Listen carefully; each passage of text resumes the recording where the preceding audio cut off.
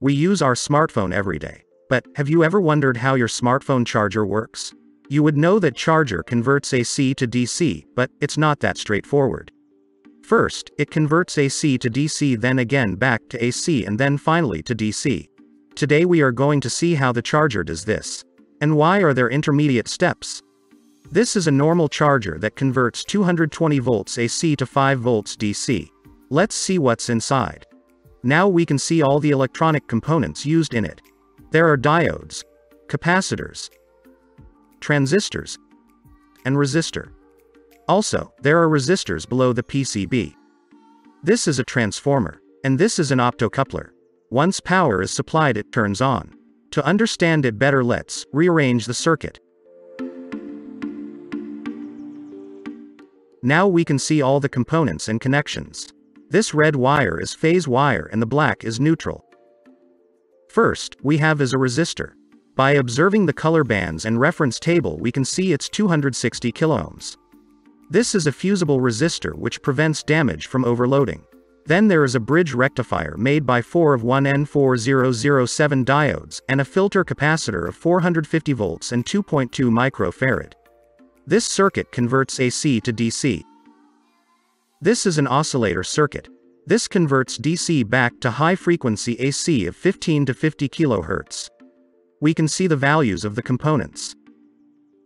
This is transistor S8050. This is its pin configuration. And, this is transistor 13001. This is its pin configuration. This is a diode. It looks like Zener diode, but it's a fast-switching diode 1N4148 and a capacitor of 50 volts 22 microfarad. This is a AC to DC converter for the photo transistor in optocoupler. It forms a circuit like this. This is the transformer, it has three windings, primary, secondary and auxiliary winding, wrapped around the core. It is used to step down the voltage. The auxiliary winding is used to run the oscillator circuit. Then we have a Schottky diode 1N5819 with a capacitor of 10 volts 470 microfarad to convert AC to DC and a LED for indication. Also, there is a feedback circuit that consists of an optocoupler PC817C and 4.2 volt Zener diode. This is an optocoupler. It is used for transmission of signal without contact. On the right side we have is an infrared LED and on the left is photo transistor. When the LED turns on, its light turns on the base of photo transistor turning it on. This capacitor is of 102 nanofarad used for safety purposes. It is connected between primary and secondary grounds to stop electromagnetic interference. Let's turn it on and see in action.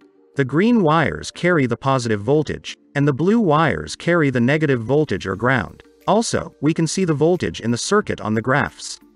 We have the input of 220 volts 50 Hz AC, this is a bridge rectifier, it converts AC to fluctuating DC.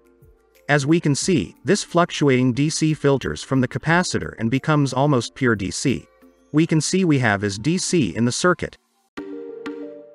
Now, this current passes from the 2 megaohm resistor to the base of T1 turning it on. This transistor isn't fully turned on because of the resistance, it turns on partially. Due to partial turning on of the transistor a low current passed from the primary winding of the transformer. This induces a low voltage in the auxiliary winding. The induced voltage now charges the capacitor, and then the capacitor fully turns on the transistor. As the transistor is now fully on, it allows the current to flow through itself. Now, this turns on the transistor T2. This shunts the base of the T1 turning it off. As the T1 turns off, the flow of current to the T2 is cut off. Now the current flows to the base of the T1 and the cycle repeats. This happens at 15 to 50 kHz which is 1000 times faster than the rectifier circuit. Hence, you would see that the rectifier circuit is stopped. At the same time, the voltage from the auxiliary also turns the diode on and charges the capacitor and flows to the optocoupler. This diode and capacitor convert the AC from the auxiliary coil to DC for the optocoupler. The current is also induced in the secondary winding. This is converted to DC by a Schottky diode and a filter capacitor. It is indicated by the LED. But what if the voltage is more than 5 volts? Hence we have as a feedback circuit. As we reach 4.2 volts the Zener diode turns on allowing current to flow to the optocoupler. It also drops the voltage by 4.2 volts hence the LED of the optocoupler doesn't turn on. The LED requires 0.8 volt to turn on.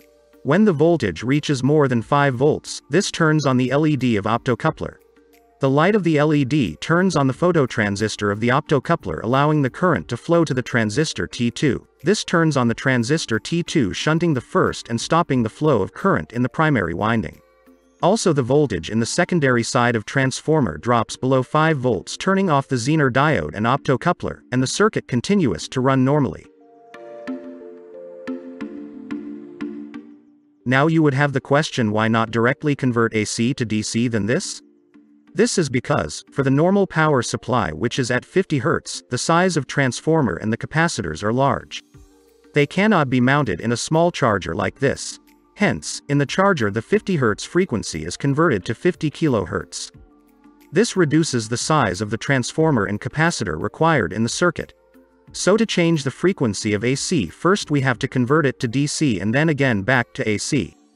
Now you know how the charger that we use daily works. Thank you for watching.